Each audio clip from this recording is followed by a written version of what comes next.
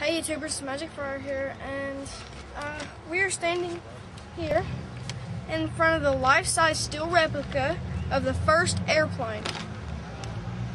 Uh, you can see Oliver is like at the controls. I don't know if you can see that very well, but Oliver's driving. Um, in uh, 1990, it was built in 1990 out of supposedly stainless steel, and uh, four, it has a 40 feet wingspan. You can see that it's rusting in spots, but it really doesn't matter, does it? Well, I wonder if it actually really fly. Wouldn't that be amazing? Uh,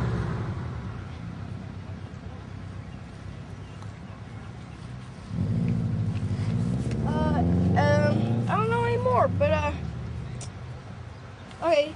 You see, this this was this airplane was made by the Wright brothers. You see Oliver's flying. Oliver's uh, steering, and uh, Wilbur is over there watching.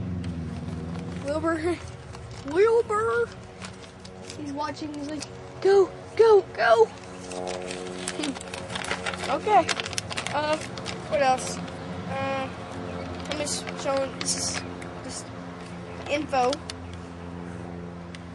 Um, hmm. I don't know what to really say. It's just, it's an awesome little airplane. Looks like it's backwards on it.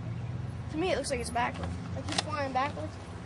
Maybe you don't know how to. Maybe you don't know how to do it. Maybe I think that I thought that was the front and that was the back because that, like you know, wing thing. And Wilbur's probably over there.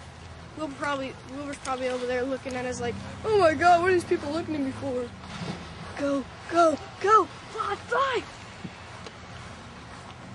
Oliver's like, oh my God, I'm gonna die. I'm gonna die. Looks so cool on it. What if I go play on it? Like a jungle gym.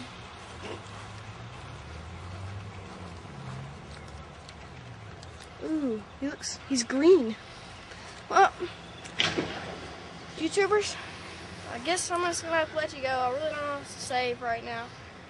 Um, well, I guess that's it. So, Magic Fryer.